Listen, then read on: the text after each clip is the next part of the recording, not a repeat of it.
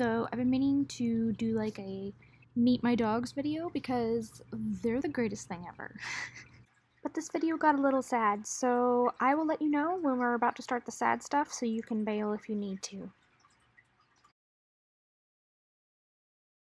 So um, we've had my dogs since they were puppies. We got them from the same breeder, but they had different parents, but they were born a day apart. Most of the pictures I have of them as babies are terrible. I don't know why. I think they're five, six. We have a short haired Pom who is white and cream color, blonde. Her name is Taffy. She is my Patronus, my soulmate, the love of my life. If I discovered the Fountain of Youth and there was only like a tiny bit left for one life, I would give it to her without even stopping to think about it. She's very independent and playful and way too smart for her own good. She is mischievous, disobedient, she doesn't listen, but she loves me to death and loves cuddling.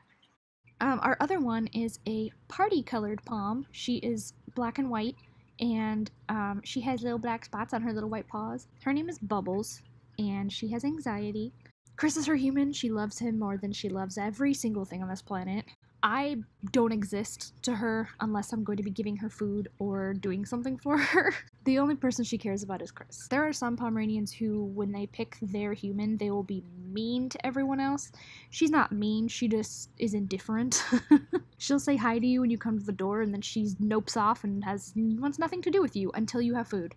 Then she is all up in your business. Then disaster struck. We took them to get groomed at PetSmart, which is where we always take them to get groomed. And we've never had a problem, ever.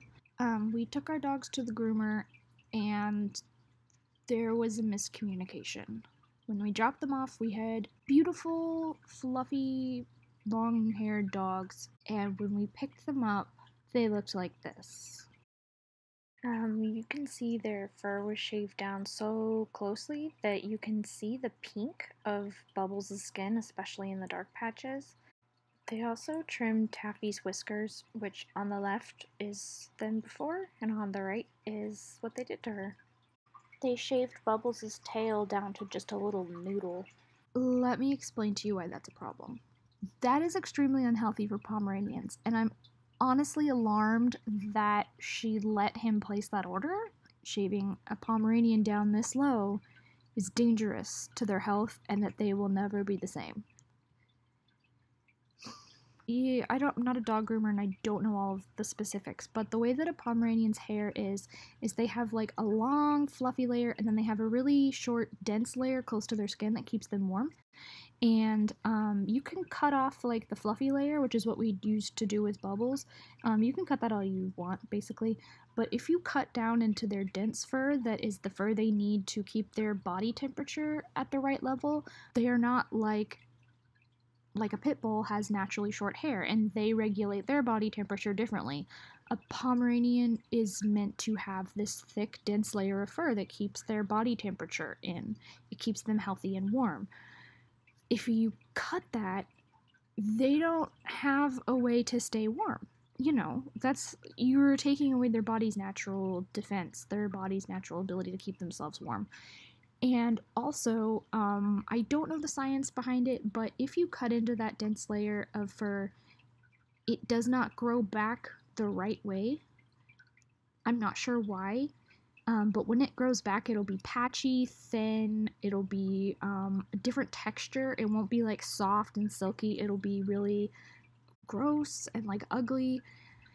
And it's it doesn't grow back uniformly or as thick as it ever was. So the fact that this happened to our dogs, they're never going to be as fluffy as they were in those earlier photos and video clips I showed you which is incredibly heartbreaking.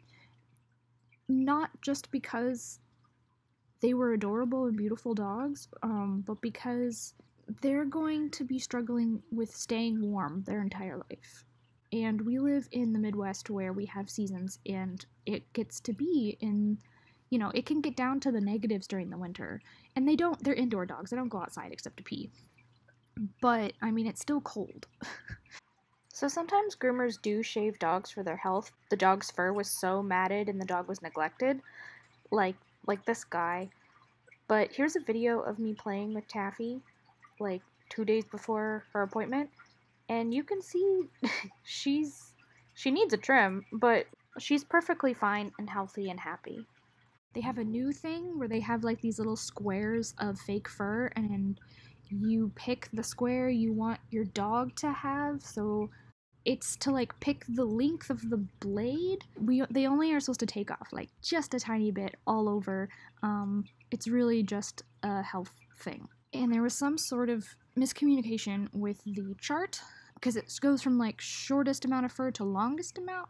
And uh, Chris was trying to communicate he wanted the second in on the longest side um, because we wanted them to take off a little bit. And person taking the order wrote it down as second from the shortest side. So a step up above buzzing all of their hair down to their skin.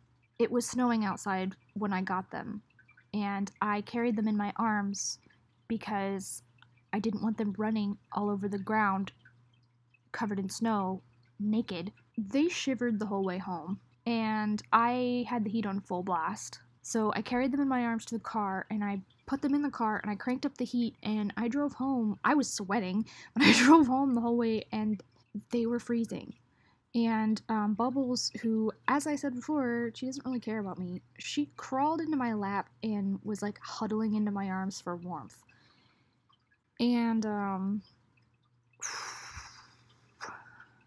my parents bought them adorable little pink coats for Christmas, um, just to be cute and silly. And I'm so glad that they did because we came home and we immediately put them in those coats and it helped um, but they were still cold. Um, they looked adorable in them though. I mean, they're adorable. They look cute and everything. But uh, because their whole like butt is exposed, it's just a top. Like imagine if you were like hanging out in the winter and you just had a coat on and you didn't have any bottoms on, you'd be cold. We moved a whole bunch of blankets um, down like a bunch of throw blankets. We turned them into dog blankets and piled them all up on the floor for them. They were super lethargic. Like they they're normally hyper as fuck. they run around and they're playful and they're silly and they are obnoxious and they weren't. They were huddled into their blankets, not moving. Um, Bubbles, who doesn't care about me at all, was wanting to be snuggled right up next to me. I looked over and saw her all cuddled up like this, just like trying to get all of her limbs under her, and I just I put a blankie on her and she was like, Excuse me, human, you don't know how to blankie. but she eventually got herself all snuggled up in it, and I didn't have the heart to move her because she was so cute and finally warm, so I just awkwardly slept next to her. they normally are fairly independent dogs. They're not really lap dogs. They want to run around the house and chew on their bones and play, and they were all over us they wouldn't leave our side.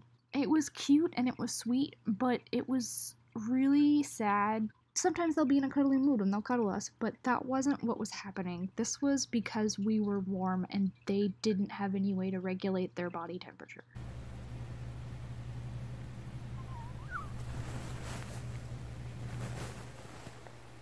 Like they were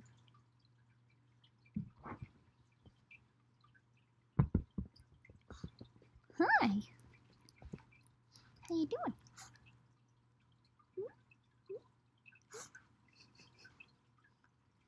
You just sniffing?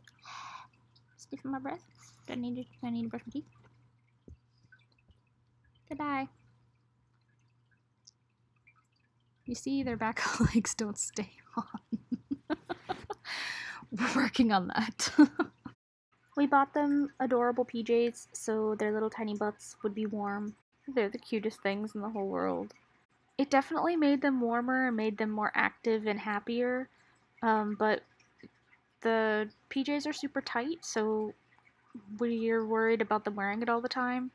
And also, Taffy keeps wiggling out of hers, and her back legs are just out. Like, you're defeating the whole purpose here. So we got them t shirts um, that say security on them It's been two months now, and they're just barely starting to grow back their fur.